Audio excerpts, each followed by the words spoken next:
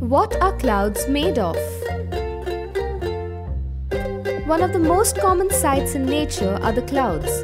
In terms of weather, they are simply visible masses of tiny water droplets.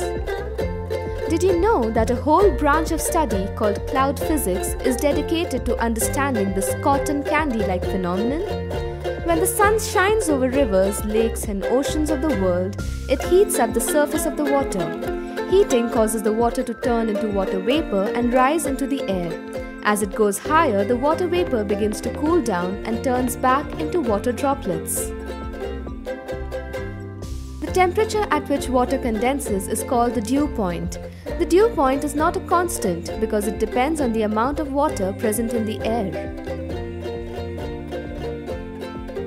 Tiny droplets of water hang suspended in the Earth's atmosphere. The water vapor condenses into water to form clouds. The clouds become heavy after some time due to the accumulated water.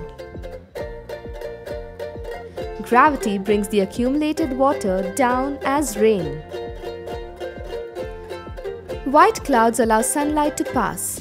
Clouds appear white because they allow light to pass through it. Since sunlight is white, the water droplets simply act like a canvas upon which the sun throws its rays.